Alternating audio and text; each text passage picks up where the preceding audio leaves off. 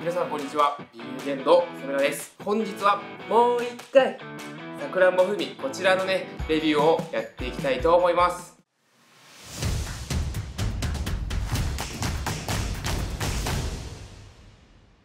毎年ね数量限定でね販売される限定商品になるんですけど爽やかな風味がね大人気のフレーバーで今年もね数量限定で再販となります。どんな味かね早速飲んでねレビューしていきたいと思います。こちらねさくらんぼ風味買っていただきますとこちらのね赤い袋に入った大スプーンが一緒に付属されてきます。こちらのねスプーンねこう取り出していただいてパウダーねこう吸い切っていただくと、まあ、大体 30g 計量できるようになっておりましてそのパウダーをねお水に溶かして飲んでいただくことで、まあ、タンパク質がね 20g 取れる設計になっております。ぜひねこちらご活用ください。本日ねこちら水の方 200ml ぐらい入れてきました。裏面の方には150から 300ml の水をね入れて溶かしてくださいって書いているんですけど本日 200ml ぐらい入れてきてます。この辺はね味の好みで、ね、調整してあげてください。濃いのがね好きな方は水を少なく薄く飲みたいなっていう方は水の量を増やしてあげるといいと思います。ご自身のね好みで調整してあげてください。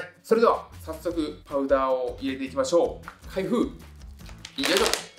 パウダーはいつものような色ですね。サラサラしてますね。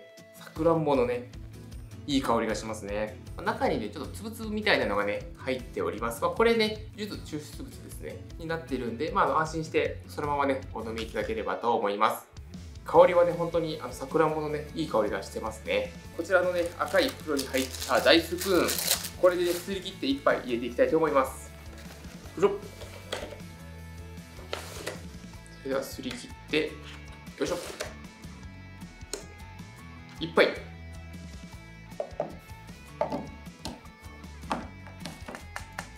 さあ行きましょう。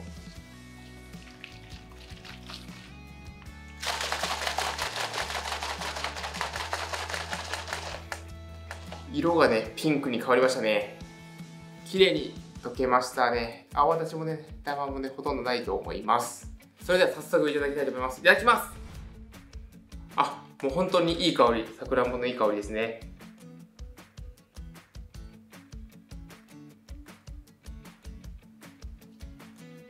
爽やか。美味しい。美味しい。さくらんぼジュースみたいですね。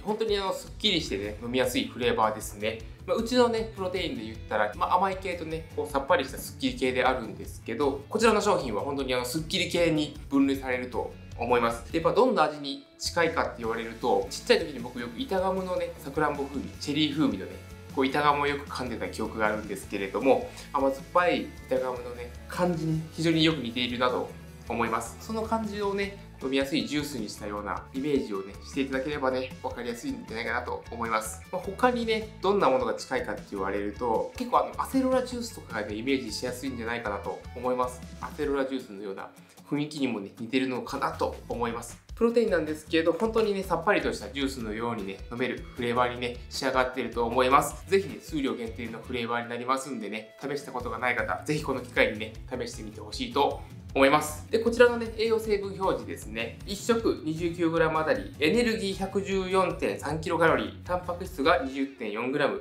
質が 1.7g 炭水化物 4.7g 食塩相当量 0.1g ビタミン C が 42.1mg ビタミン B6 が 1.2mg となります。こちらね動画のね概要欄の方にもう一回さくらんぼ風味の商品ページに飛ぶね URL 貼り付けておきますんでねぜひそちらの方からチェックしてみてください。もしビールジェンの LINE 友達登録されてない方ね来られましたらぜひこの機会にね、登録しておいてください。発売日になるとね、LINE の方から通知が行く設定であったりね、お得なキャンペーン、クーポンなんかもね、配布しておりますんでね、お友達登録されてない方は、ぜひこの機会にね、友達登録しておいてください。それではね、また次の動画でお会いいたしましょう。さよなら。